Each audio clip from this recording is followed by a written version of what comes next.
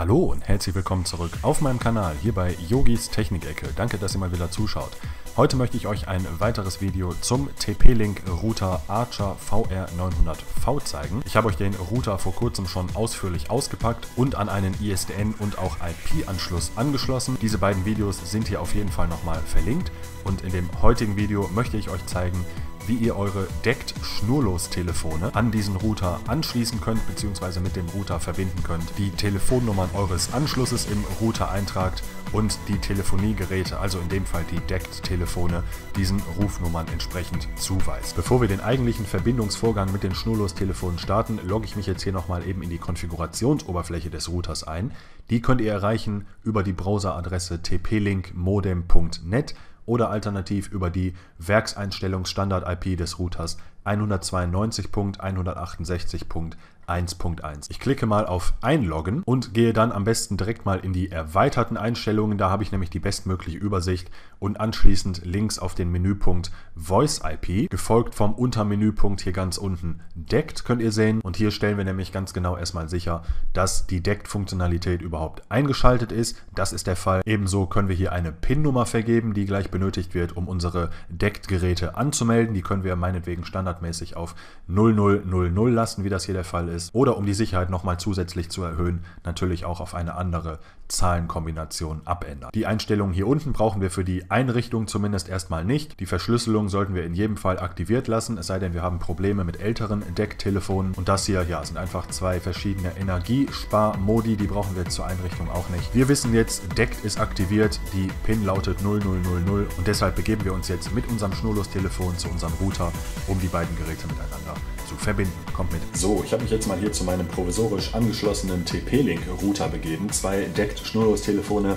legen für die Einrichtungsdemo auch schon bereit. Wie ihr sehen könnt, ist der Router vollständig verkabelt. Hier geht der Internetanschluss rein. Hier hängt mein PC dran am Netzwerkstecker und hier ganz außen geht der Stromeingang rein für den Router. Die Verkabelung, wie gesagt, habe ich euch in einem separaten Video gezeigt. Das hier aber auf jeden Fall unten nochmal in der Videobeschreibung verlinkt ist. Betriebsbereitschaft können wir auch an den ganzen blau leuchtenden LEDs hier oben erkennen. Und hier auf der ganz rechten Seite sehen wir die Telefon-LED. Und was wir jetzt machen, ist hier auf der linken Seite des Routers mal diesen Deckt-Taster zu drücken für einen kleinen Moment, bis hier oben diese kleine Telefon-LED anfängt zu blinken, ganz genau jetzt. Und dann haben wir etwa eine Minute Zeit, wenn sie das tut, um in unserem Telefon, in unserem Schnurlos-Telefon in das Menü reinzugehen. Das tue ich hier gerade mal. Das unterscheidet sich dann natürlich von Telefon zu Telefon.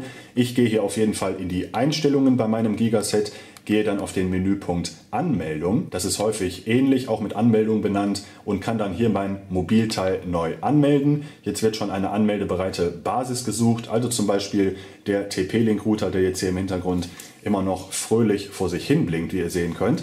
Und ja, nach wenigen Sekunden sollte ich eigentlich zumindest die PIN-Abfrage bekommen. Ganz genau, hier soll ich jetzt die System-PIN eingeben. Die lautete ja 0000, wie ihr euch vielleicht erinnert, eben aus der Konfigurationsoberfläche des TP-Link-Routers. Dann sehen wir, Mobilteil wird angemeldet und Mobilteil ist angemeldet. Die Deck-LED sollte aufgehört haben zu blinken, ganz genau. Und über dieses Mobilteil können jetzt im Grunde genommen schon Telefongespräche geführt werden, wenn eure Telefonnummern im Router schon entsprechend eingerichtet sind. Das zeige ich euch gleich. Ich zeige euch den Verbindungsvorgang nochmal eben anhand eines anderen Modells von Gigaset. Auch dazu nehmen wir uns wieder den Router her und drücken für einen kleinen Moment die Deck-Taste, bis hier oben die LED wieder anfängt zu blinken. Ganz genau so, das tut sie.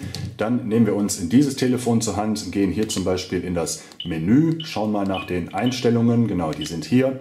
Und da sollten wir auch zum Beispiel wieder Mobilteileinstellungen finden. Genau, das sind diese und wahrscheinlich irgendwo den Menüpunkt Anmeldung. Ganz genau, da war er schon MT anmelden, Mobilteil anmelden. Da gebe ich jetzt auch wieder den PIN ein, nämlich viermal die 0.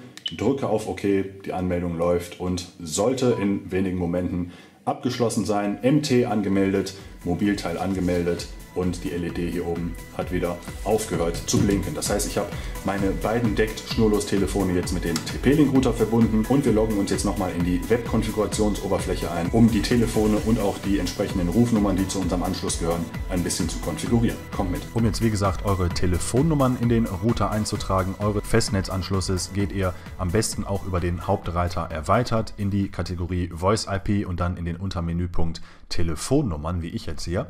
Geht dann hier oben ganz ganz einfach auf Hinzufügen. Das konntet ihr übrigens alles auch schon im Ersteinrichtungsassistenten dieses Routers erledigen, wie ich euch das auch in meinem entsprechenden Video gezeigt habe. Aber hier jetzt nochmal für die nachträgliche Einrichtung könnt ihr also euren Telefonanbieter auswählen. Da sind hier schon einige auch IP-Telefonieanbieter voreingetragen. Da passt sich dann entsprechend die Eingabemaske der Zugangsdaten an, je nach Provider, den ihr hier auswählt. Hier tragt ihr dann eure Vorwahl ein, eure Ortsvorwahl und hier hinten eure Telefonnummer, die ich euch jetzt natürlich unkenntlich mache, da ich meine Abonnenten zwar sehr wertschätze, aber trotzdem nicht möchte, dass die mich zu Hause anrufen. Und im Fall des Telekom-Anschlusses muss ich jetzt hier, ja, um zu bestätigen, dass ich wirklich der Anschlussinhaber bin, noch meine Telekom-E-Mail-Adresse und das dazugehörige Passwort eintragen. Anschließend klicke ich auf OK und wir können nach einem kurzen, spannenden Wartemoment sehen, dass hier ein sehr beruhigender grüner Haken bei Status erscheint. Das heißt, diese Telefonnummer wurde korrekt erkannt und angenommen. Und da wir ja meistens mehrere Telefonnummern an einem Anschluss heutzutage haben, können wir direkt nochmal auf Hinzufügen gehen und auch unsere anderen Telefonnummern hier eintragen. Das wäre jetzt in meinem Fall zum Beispiel meine zweite Telefonnummer.